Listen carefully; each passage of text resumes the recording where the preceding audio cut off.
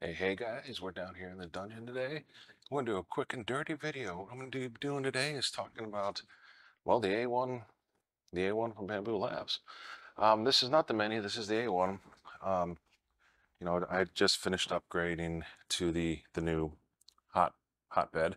So I apologize, I didn't do a video on that. I probably should have, but I figured Bambu already had pretty good video set up on their website that had to do with this update and the recall and all the happy stuff. But we're here today is we're going to discuss this standalone spool. Uh, recently, I got a request. Somebody said, hey, nobody's making videos on how to use the external spool. So here I am. Here I am to do the video. So let's say you bought one of these and for some reason you don't want to use the AMS. We're going to show you how to set this up today. So you got a couple pieces that come with your A1 you have this holder and you have this tube, this uh, tube that came in. So this here, you're just gonna unclip this and it will flip onto the top. You got the Bambu logo here and then you just lock it in the back. It just snaps right back, just the way you took it apart. Next, you're gonna have your tube. You're gonna go ahead and put it right into there. You'll put the other end with the spool holder, and then you, you set up with a wire, or sorry, not a wire, oh, a hose that'll go from here to there. Da, da, da. Let's go and turn this bad boy on. And we also, we will do a test print one. Thinking about it, I got some leftover film in here. I think that's enough to do a benchy. So, got a little bit of leftover film in here. We'll put this on the spool holder and then you can start to feed it into this just right through there. I'll feed it all the way down until it goes in. So what makes this different than the AMS setup? I've got to figure out how to get this warning, this recall warning off. So I'm sitting here and get in here real good.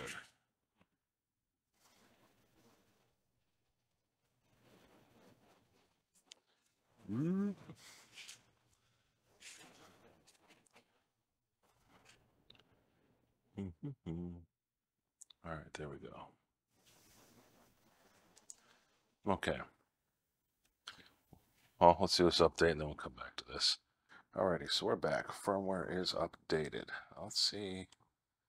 All right, so so what you're going to notice here is one of the things you're going to want to do is you want to go here, you want to go to your filament setting and you're going to see that it's set on external spool. Now it's going to be set on external spool as long as your plug is not plugged in. This is the plug that uh, is for the AMS lite system. So when that's not plugged in, it's going to read an external spool. So you're going to go here, you're going to click load. Uh, filament type is unknown, but it is required to perform this action. There we go. So we got to put our filament type. We are, whoops, we are not that. We are PLA, generic. You know, we can pick a color, why not? Let's go orange because we can it's going to go through this, this, this checklist here. So we're going to get a message and it's going to tell us basically, please observe the nozzle. If the filament has been extruded, click done.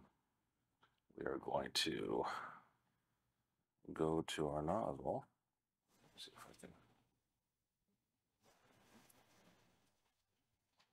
Now the filament is coming out. So let's click done. Push new film into the conceit. All right. Oh, oh, here it comes. Here it comes. I don't know if you can see that, but it's starting to feed after you click done. Starting to feed the orange stuff out. Oh, that's going to look good. Yep. Perfect. Little booger. But yeah, you can see here, this up here so you can see that we purged our filament. Okay. So what we're going to do now is we are going to go to print files.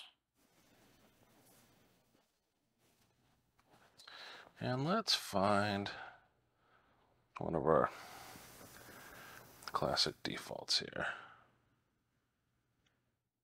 Go with the old Benchy. There it is, Benchy. Do a print. We'll do a test print there and then uh, check it out and see how it does.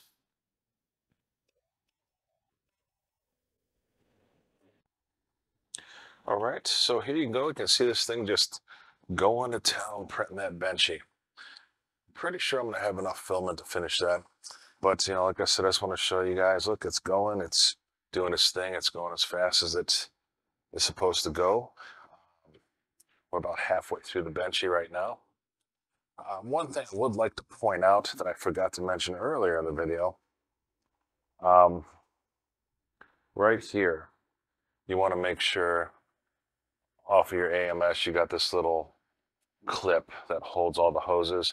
You definitely want to make sure you remember to use that for these wires that go from the tool head over to the the piece over here where it plugs in for you know the camera and everything else, you know, basically the electronics portion of it. Uh, because if you don't, this wire will be hanging down all over your bed and get caught in there and it'll it'll be a mess. I'll just say I almost had a mess. So we're learning things together, guys.